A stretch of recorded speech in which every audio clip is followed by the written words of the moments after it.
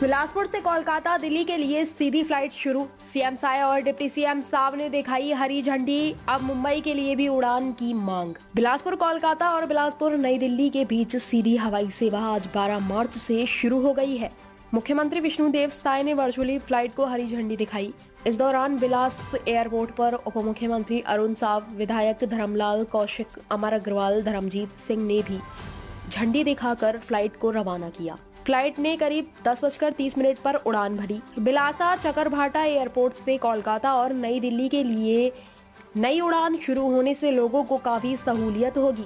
हवाई सुविधा, जन संघर्ष समिति ने हैदराबाद और मुंबई के लिए भी उड़ान शुरू करने की मांग की है। कोलकाता से फ़्लाइट सुबह सात बजकर पाँच मिनट से उड़ान भरकर आठ बजकर पचपन मिनट पर चकरभाटा पहुंचेगी। यही फ़्लाइट नौ बजकर पैंतीस मिनट से उड़ान भरकर ग्यारह बजकर पच्चीस मिनट पर कोलकाता पहुंचेगी।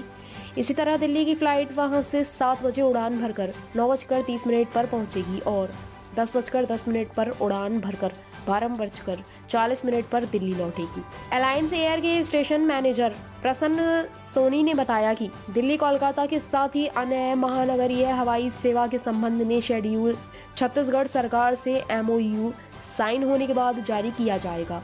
उन्होंने बताया कि प्रोसेस 15 मार्च से पूरा कर लिया जाएगा।